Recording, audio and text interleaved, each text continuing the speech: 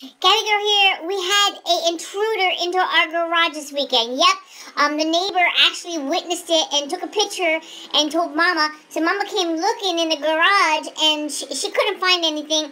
And, um, and she was kind of scared. So she said, we'll let Daddy take care of it when he gets home. So, um, we knew something was in the garage as girls and we kept barking and barking. So Mama was like, got a little brave and she opened the garage door. And when she did, bang! Guess what? It, it was a skunk and it sprayed and it got in Mama's eyes and it burned her and her eyes bulged out worse than a Boston Terrier's. They were bugging out and she was gagging so hard that she threw up and, and, and then she wet her pants because it was so traumatic on her as she was thrown up and it was a disaster and um yeah, Daddy notice anything after it, it must have got out, but yeah, it already done its damage. It sprayed in the garage. The neighbor said it was a raccoon. Um, yeah, it was a skunk. Mommy knows that stinky ass. She said it's worse than a Boston Terrier. Woo!